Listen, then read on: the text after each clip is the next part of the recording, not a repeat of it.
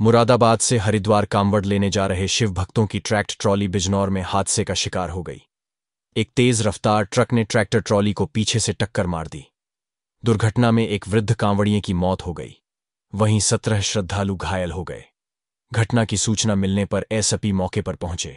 ये पूरी घटना वहाँ लगे सीसीटीवी में कैद हो गई।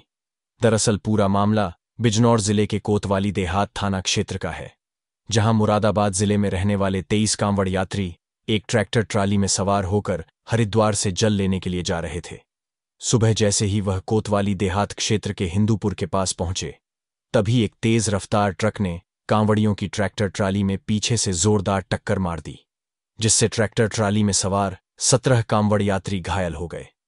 सूचना पर पहुँची पुलिस ने सभी घायल कांवड़ियों को सीएचसी कोतवाली देहात और जिला अस्पताल में भर्ती कराया, जहाँ कोतवाली देहात में इलाज के दौरान एक कांवड़ यात्री संतोष चौहान की मौत हो गई।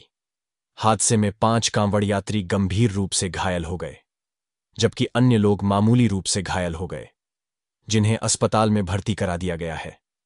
पुलिस ने ट्रक चालक सुनील कुमार पुत्र सुरेश प्रसाद को हिरासत में ले लिया है।